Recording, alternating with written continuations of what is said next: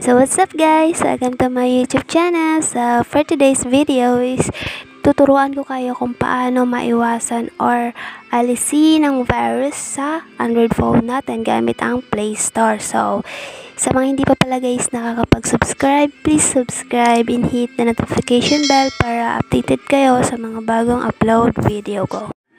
So, ayun guys, punta lang tayo sa settings ng Android phone natin. Then, once na makapunta tayo sa settings ng Android phone natin, isanapin nyo lang guys yung device and privacy or security privacy. So, sa akin kasi nakalagay is device and privacy. Sa iba kasing cellphone is nakalagay is security privacy. So, sa akin, device and privacy. So, pag once na mahanap nyo na, is click nyo lang, yung ganon, then, yun.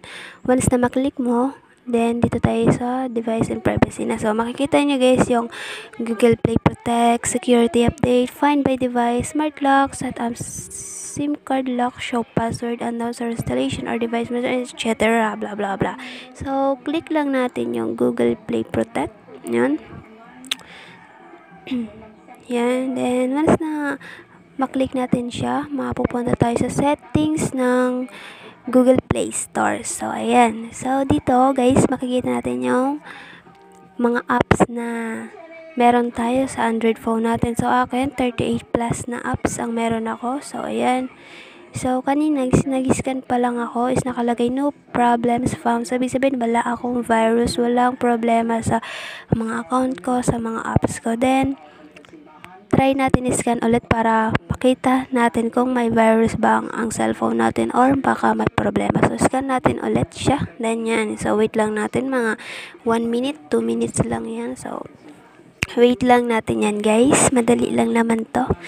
So, importante kasi guys na i-scan nyo yung cellphone nyo para malaman natin kung safe pa ito. So, dito guys, tapos na yung scanning. So, nakalagay sa akin ulit is no problems found. So, ibig sabihin, wala talaga akong problema sa apps and sa mga accounts ko. So, ayan. So, kayo guys, scan nyo lang yan kasi dyan nyo makikita kung may problema ba cellphone nyo. Then, click lang natin tong settings.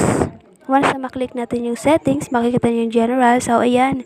Kailangan guys is naka-enable to itong dalawang to. So, scan apps with Play Protect. Play Protect can scan this device and warn you about harmful apps and improve our harmful app detection. Send unknown apps to Google for better detection. So, ang iba kasi guys na na ibang Android or ibang cellphone is hindi siya naka-enable. So, nakaganyan lang siya.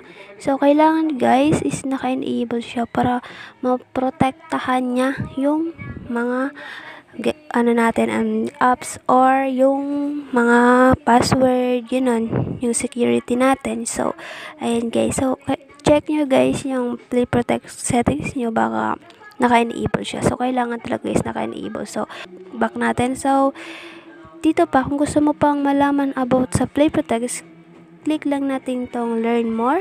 Yan yan Ayan, so dito is makikita natin yung Help Center, Help Protect Against Harmful Apps with Google Play Protect. Google Play Protect helps you keep your device safe and secure. It runs safety check on apps from the Google Play Store before you download them. It checks your device for potentially harmful apps from other sources. These harmful apps are sometimes called malware. It warns you about any detected potential harmful apps found and removes known harmful apps from your device. It warns you about detected apps that violate for unwanted software policy by hiding or mispresenting important information. It sends a privacy alert about apps that can get user permission to access your personal information violating our developer policy. So, dito guys is basahin nyo lang siya guys para malaman nyo kung mga safety, yung mga safety ng ng App Store or Play Store natin. So, dito guys. So, yun guys check nyo yung Play Store nyo kung may virus ba ito or kailangan no problem found siyang ma-detect kasi pag meron, so ibig sabihin may virus yung phone mo. So, So, ganun guys, kailangan scan natin kasi once na may ma-detect si Play Store na kakaiba sa cellphone natin or may mga malicious mm, malware is agad naman niya tong dinidelete. So, yun. So, pinoprotektahan tayo ni Play Store. So, guys, sana is may natutunan kayo guys. At hindi pa pala guys nakakapag-subscribe, please subscribe and hit the notification bell para updated kayo sa mga bagong upload video ko.